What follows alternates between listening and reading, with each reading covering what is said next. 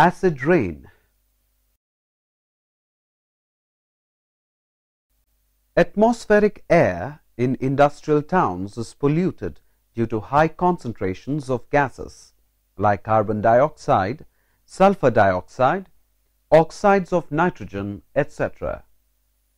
These gases get dissolved in rainwater to form acids such as carbonic acid, sulfurous acid, and nitric acid. This is what is called as acid rain. The rainwater is carried to the rivers, lakes and ponds, making the natural water acidic. Harmful effects of acid rain Acid rain is corrosive and harmful for both living and non-living things. It gradually destroys living tissues, eats up cement, limestone, and marble of buildings and monuments, and corrodes steel and other metals too.